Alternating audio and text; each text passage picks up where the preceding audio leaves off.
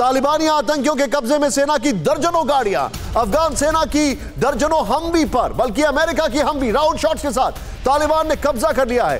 Park में खड़ी कई गाड़ियों को तालिबान ने कब्जे में ले लिया है। विजुअल्स दिखाएँ। ये अमेरिका देखे गया था हम भी छोड़ के भागा था, बल्कि कहा जाए, और ये हम भी अब तालिबान के पास है। वैसे ही, जैसे हेलीकॉप्टर के बगल में वो बाइक पर घूम रहा था। वो देखे, ये देखे, ये सारी गाड़ियाँ तालिबान के पास आ चुकी है।